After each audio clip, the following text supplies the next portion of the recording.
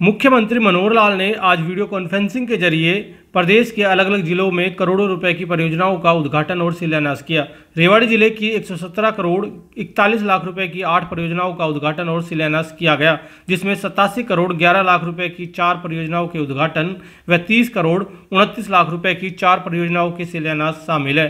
वहीं रेवाड़ी से कांग्रेस विधायक चिरंजीव राव ने सरकार पर निशाना साधते हुए कहा है कि रेवाड़ी विधानसभा में कोई बड़ा काम मौजूदा सरकार ने नहीं किया है। जो कार्य उद्घाटन और शिलान्यास किए गए हैं, वो महज खाना पूर्ति की गई है।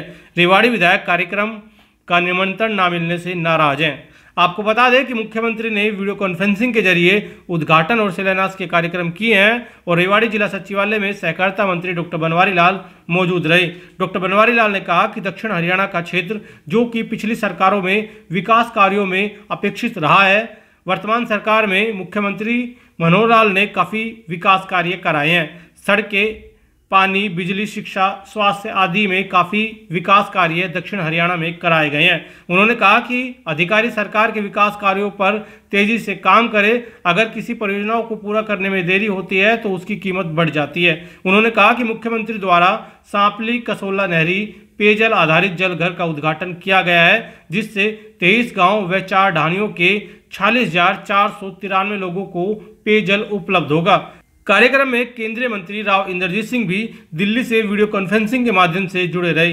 मुख्यमंत्री मनोहर लाल द्वारा जिन विकास परियोजनाओं के उद्घाटन किए गए हैं, उनमें सत्रह सौ बत्तीस लाख की लागत से बने राजकीय महाविद्यालय पाली 512 लाख रुपए की लागत से बने लोक निर्माण विभाग, विश्राम गृह, बावल छप्पन लाख रुपए की लागत से बने नहरी पेयजल पर आधारित सांपली कसोला, जलघर व आठ सौ पचपन लाख रुपए की लागत से बने आरबीएस इंजीनियरिंग कॉलेज, जैनाबाद के बॉयज़ हॉस्टल का उद्घाटन किया गया। मुख्यमंत्री मनोहर लाल ने जिन विकास परियोजनाओं का शिलान्यास किया है, उनमें दो सौ नवासी लाख रुपए की लागत से बनने वाले राजकीय कन्या वरिष्ठ माध्यमिक विद्यालय रेवाड़ी के भवन 421 लाख रुपए की लागत से बनने वाले राजकीय उच्च विद्यालय जाट तीन सौ इकसठ लाख रुपए की लागत से बनने वाले नागरिक अस्पताल से ट्रोमा सेंटर के बीच फुट ओवर ब्रिज व उन्नीस सौ सत्तावन लाख रुपए की लागत से बनने वाले सैनिक स्कूल गोठा टप्पा खोरी की सड़क व पार्किंग का शिलान्यास शामिल है। ऐसे में देखना होगा कि जिन परियोजनाओं की आधारशिला मुख्यमंत्री ने रखी है, उन परियोजनाओं पर कब तक काम पूरा हो जाएगा।